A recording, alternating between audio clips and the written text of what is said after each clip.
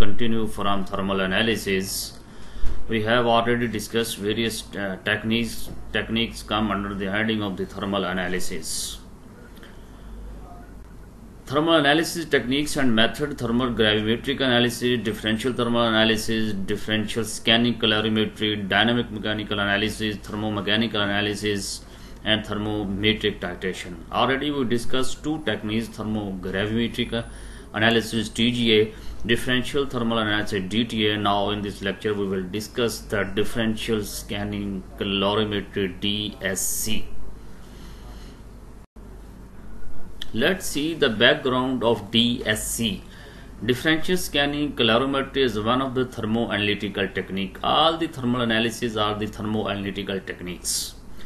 A calorimeter measures the heat into or out of the system, uh, out of a sample.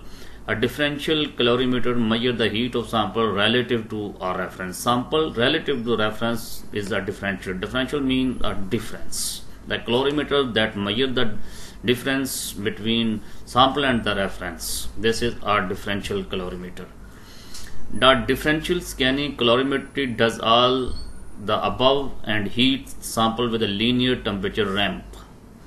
DSC is a technique in which the difference in the amount of heat required to increase the temperature of the sample and reference are measured as a function of temperature but the sample and the reference are maintained at nearly the same temperature throughout the experiment. So in this technique, uh, all, uh, all everything is uh, moving around the heat. It means the heat content of a system.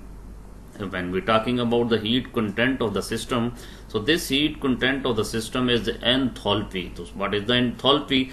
The enthalpy is the thermodynamic quantity equivalent to heat content of the system. So the principle of DSC is DSC is used to measure the enthalpy changes due to the changes in the physical and chemical properties of a material as a function of temperature or time.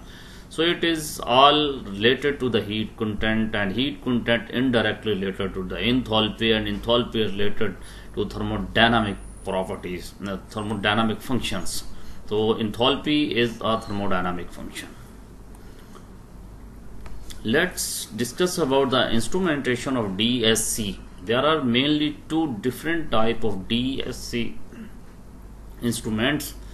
Heat flux DSC power compensated DSC.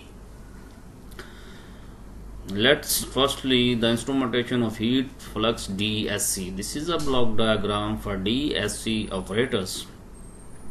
DSC heat flux operators, sample and reference holders. These are the parts of this heat flux DSC instrument. Aluminium or heat pan placed on Constantan disc Copper nickel alloy, also known as Eureka. What is Constantan disc is made of copper and nickel alloy. This is also called the Eureka. Eureka. It usually consists of 55% of copper and 45% of nickel. Sample and reference holders are connected to a low resistance. Here is a block diagram at the right side of this block diagram. We have a lid that is covered the whole the system, the whole uh, furnace you can say in other words. And the sample pan, chromel disc, chromel wire and the left is alumel wire. The right side bottom heating block. Uh, one is thermocouple junction, thermoelectric disc, Constantan, reference pan and purge gas inlet uh, you all the familiar with the purge gas we uh, we will use can use different type of gases in DSC also nitrogen uh, argon carbon dioxide and etc and thermocouple is a sensor that measures the difference of temperature between two object object mean the reference and the sample. The sensors in the DS instrument the chromel an alloy made of 90% nickel and 10% chromium Constantan area thermocouples differential heat flow. Heat flow mean difference of heat between two objects mean one objective sample other is reference chromel alumel an alloy consisting of approximately 95% nickel, 2% manganese, 2% aluminium, and 1% silicon. This type of the, uh, this is also a thermocouple that measure the difference of temperature between two objects that is measure the sample temperature. Thermocouple is a junction between two different metals that produce a voltage due to temperature difference. Now the furnace, one block for both sample and reference cells is called the furnace. The holder means two object holder in DS instrument is the furnace. Temperature controller, the temperature difference between the sample and the reference is converted to differential thermal power which is applied to the heaters to maintain the temperature of the sample and the reference at the program value. Heat flux DSC. In heat flux DSC, the difference in heat flow into the sample and the reference is measured while the sample temperature is changed at constant rate. That is fixed in temperature program. Uh, the main assembly of DSC cell is enclosed in a cylindrical silver heating block which dissipate heat to the specimen via or constantan disk which is attached to the silver block. The disk has two raised platform on which the sample and reference pans are placed. This is evident from this block diagram. The raised one is sample pan, other is reference pan. A chromel disc and con connect and connecting wire are attached to the un, uh, underside of each platform and resulting chromel constantan thermocouples are used to determine the differential temperature of interest.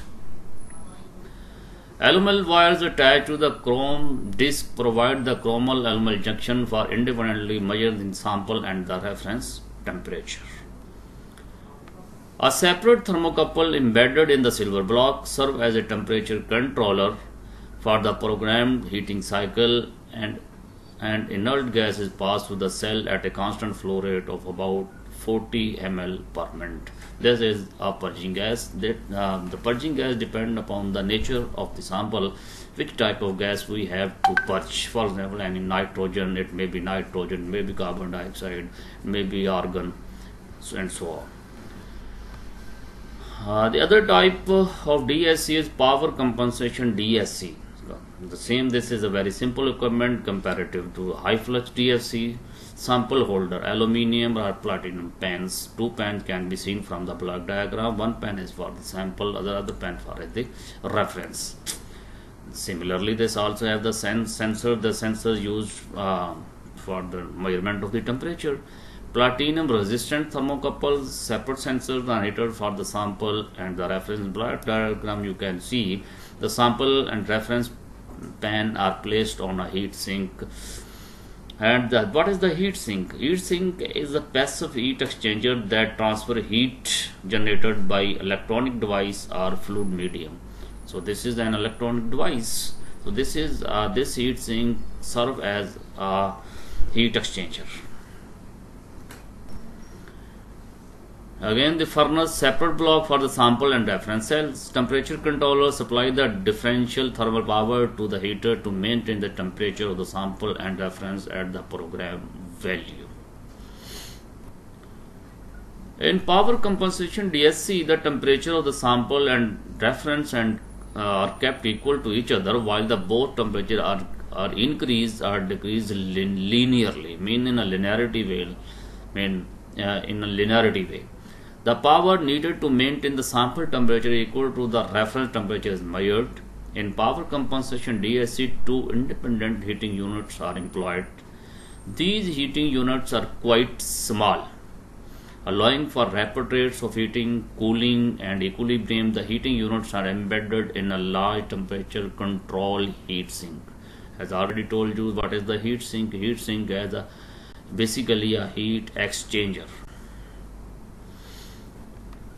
Differential scanning calorimetry, uh, the sample and reference holder have platinum resistant thermometers to continuously monitor the temperature of the material. Both sample and reference are maintained at the program temperature by applying power to the sample and the reference heaters.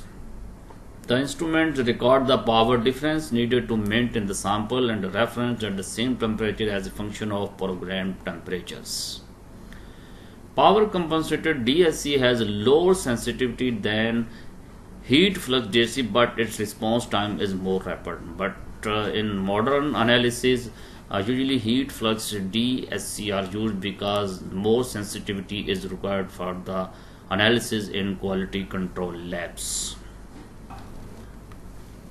Now the sample preparation in differential scanning calorimetry accurately weighed the sample about 3 to 20 milligram. The sample material and configuration should be used for sample and the reference. Material should completely cover the bottom of, of the pan to ensure good thermal contact. Good thermal contact mean it uh, completely acquire the temperature that is programmed. As a result of DSC analysis, we get a data in the form of graph. That graph is called the DSC curve. The result of a DSC experiment is a curve of heat flux versus temperature or time. There are two different convention exothermic reactions in the sample shown with a positive or negative peak depending upon the kind of technology used in the experiment. Uh, this curve can be used to calculate the enthalpy of the transitions which is done by integrating the peak corresponding to a given transition. Enthalpy of transition can be expressed using equation delta H is equal to Ka. Where delta is the enthalpy of the transition, K is a calorimetric constant and A is the area under the peak. The calorimetric constant varies from instrument to instrument and can be determined by analyzing a well-characterized material for known enthalpy of transition. The area under the peak is directly proportional to the heat absorbed or evolved by the reaction. Heat of uh, height of the peak is directly proportional to the rate of the reaction. From the graph, you can say. Uh, in the last lecture, in DTA, we uh, discuss about the maxima and minima of the curve but in this in also in DCA curve DSC curve we have to uh, in this uh, presented graph we have a maxima and minima. The minima represented the endothermic peak endothermic peak the max while the maxima represent exothermic peak. In endothermic peak usually uh, heat is absorbed while in case of exothermic peak heat is released Various factors affect the DSC curve. Two types of factors affect the DSC curve. Instrumental factors in in, uh, in instrumental factor furnace furnace heating rate, recording or chart speed, furnace atmosphere, geometry of the sample holder, location of sensors, sensitivity of the recording system, composition of sample containers we already discussed what kind of container of sample order we have to use which are unreactive on, on not reacting with the sample under investigation.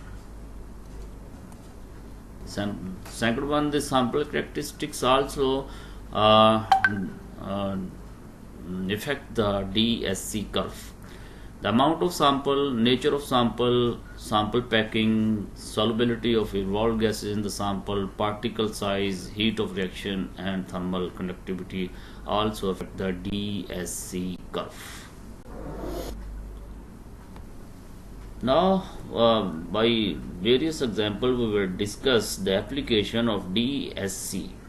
For example, the determination of heat capacity, heat capacity of a polymer a DSC plot can be used to determine the heat capacity. Heat, what is the heat capacity? Heat capacity is the amount of heat to be supplied to a given mass of material to produce a unit change in temperature. Unit change means delta change, delta T. DSC plot can be used to determine a heat capacity when a polymer is being heated, when we start heating two pan. the computer will plot the difference in heat output of two heaters against temperature that is plot of heat absorbed by the polymer against temperature. And from the graph, you can see one side is heat flow, other is temperature. temperature is along x-axis, and heat flow is y-axis. So then, uh, from this graph, uh, heat capacity of the polymer can be determined. Heat flow is the heat supplied per unit time t, whereas the heating rate at temperature increase delta t per unit time. Heat flow is equal to heat over time mean Q over T. Q is the heat, T is time. Heating rate, temperature increase over time, temperature increase delta T over T. T delta T is uh, capital T for the temperature, small t for the time. By dividing the heat flow Qt by the heating rate delta T over T, it end up with heat supply divided by the temperature increase which is called heat capacity. So heat capacity is equal to Cp Q over delta T. By using DSC we can determine the glass transition temperature of the polymers.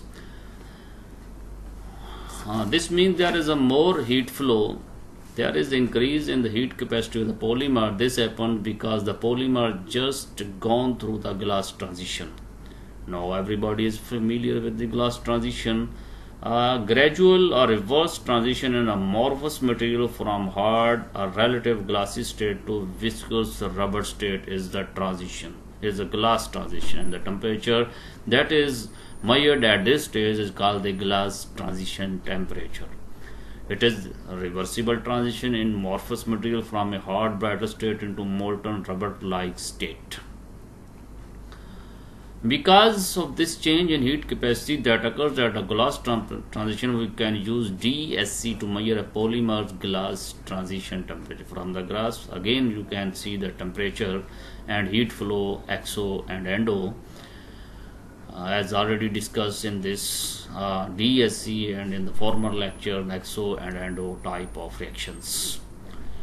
So from the graph you can see the glass transition temperature, the midpoint when it sleep down and show a minimum, uh, show a minim minima, the midpoint of that minima is a glass transition temperature. From DSC we can uh, measure the phenomena of crystallization after glass transition with this particular polymer polymer have a lot of mobility they wiggle and squirm and never stay in one position for a very long time. Wiggle and squirm is move up and down with small movement side by side as wiggle and squirm but when they reach the right temperature they will give off enough energy to move into ordered arrangement which are called crystal arrangement. In amorphous state there is no ordered, ordered arrangement. While in case of crystal there is an ordered arrangement of all the atoms. When polymer fall into these crystalline uh, arrangements they give off heat so it does not have to put out much heat to keep the temperature of the sample pan raising this rising this drop in heat flow as a big peak in the plot of heat flow versus temperature the temperature at the highest point in the peak is usually considered put, uh, to be the polymer's crystallization temperature that is Tc. Again from the block diagram, again the, from the curve you can see exo and endo heat flow is along y-axis, temperature is on x-axis from the from the graph the maxima representative tc tc is a polymer crystallization temperature. Also the area of the peak can be measured which tells us the latent energy of crystallization of the polymer. But most importantly this peak tells us that the polymer can in fact crystallize. The latent heat is heat absorbed or evolved during a constant temperature process is uh, latent heat energy uh, is called the latent energy. Melting the polymer uh, if polymer is heated past a TC eventually reach another thermal transition called the melting when polymer's melting temperature is reached TM TM is a melting temperature. The polymer crystal begin to fall apart that is they melt it comes out of their ordered arrangement and begin to move around freely that can be spotted on a DC plot. After TC, TC is a crystallization temperature, TM is a melting temperature. The heat which polymer give off when crystal is absorbed when reached at Tm. So Tm also a endothermic process. This is a.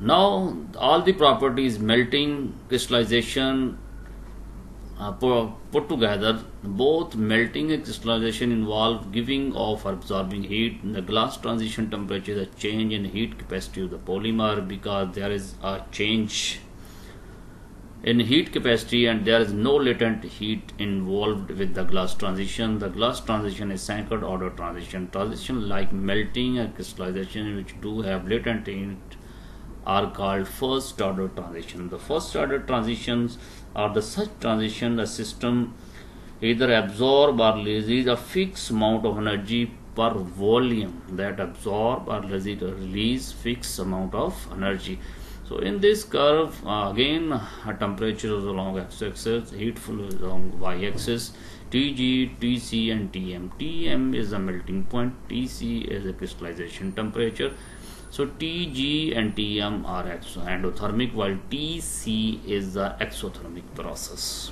From it can easily be seen from maxima and minima. Maxima is Tc while the minima is Tm and Tg. The Tg at glass transition. Liquid crystals. DC is used in the study of liquid crystals.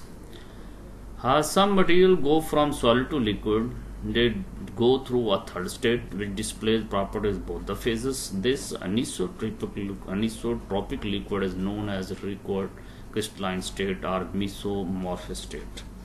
So uh, we already discussed about the liquid crystals, the state of matter which have property between those of conventional liquid and of solid crystals is called the liquid crystal. This is also called the mesomorphic state. Using DSC, Observe the small energy changes that occur as matter transition from a solid to liquid crystal and from a liquid crystal to anisotropic liquid.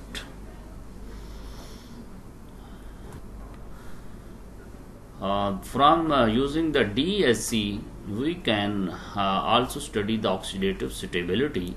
To study the stability to the oxidation of sample generally requires an airtight sample chamber. Uh, various materials or drugs, foods, uh, instructions with uh, must be placed in airtight uh, airtight containers. Why they the instruction is given because they react with oxygen from the environment and spoil and because and chemical changes are occurred as well as the microbiological changes occurred. To check the oxidative stability of these type of material, DSC can be used. Usually done isothermally at constant temperature by changing the temperature of the sample. First, the sample is brought to the desired test temperature under an inert atmosphere, uh, usually nitrogen, then oxygen is added to the system. Firstly, the oxygen, uh, nitrogen purges, uh, sample is purged with the nitrogen, then oxygen is passed to the system. Any oxidation that occurs is observed as a devi deviation in the baseline. We get a baseline in the DSC curves if any deviation occurs, we can assess in the inert atmosphere uh, the sample is and goes under oxidation. The, so DSC is an important technique for the oxidative stability of the samples under investigation. Such analysis can, can be used to determine the stability and optimum storage condition for a material or compound that is uh, with the clear instruction this type of material must be stored in airtight container. The material may be drugs maybe food items or any other type of materials. For, using DSC drug analysis can be done in the pharmaceutical industry. It is necessary to have well characterized drug compound in order to define processing parameters. For instance if it is a necessity to deliver a drug in the amorphous form, it is desired to process the drug at a temperature below which crystallization can occur. There are various uh, analysis, uh, various steps in the tablet formation, capsule formation, injectables, liquid injectables, small volumes, and large volumes.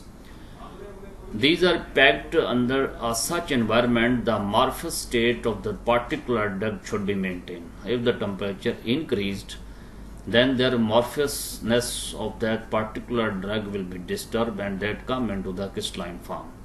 The drugs uh, lose its efficacy if it converted into a crystalline form.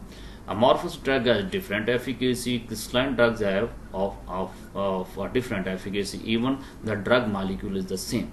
So it depends uh, Morpheus and crystalline state uh, of the drug, how is its efficacy to have shown efficacy to a patient. So those drugs which are to be placed in amorphous form are processed under the temperature where their crystallization should not occur. General chemical analysis can also be done by DSC Melting point depression can be used as a purity analysis tool. This is possible because the temperature range over which a mixture of compound melt is depend upon their relative amounts. With the impurity, melting amount of uh, any chemical drug molecule compound will decreased. With the impurity, melting point is decreased. Consequently, less pure compound will exhibit a broadened melting dip that begins at low temperature than a pure compound with running with the reference of pure sample, uh, pure compound and sample. If there is any dip that begins at low temperature, we can uh, determine the purity on the basis of the melting point this is very important technique DSC is important technique for determination of melt, melting point to elaborate the uh, melting point of any uh, molecule compound under investigation. Yeah, food science, food science. Uh, in food science, DSC also used in uh, for the analysis different food items. In food science research, DSC is used in conjunction with other thermal analytical techniques to determine water dynamics. Changes in water distribution may be correlated with the change in the texture.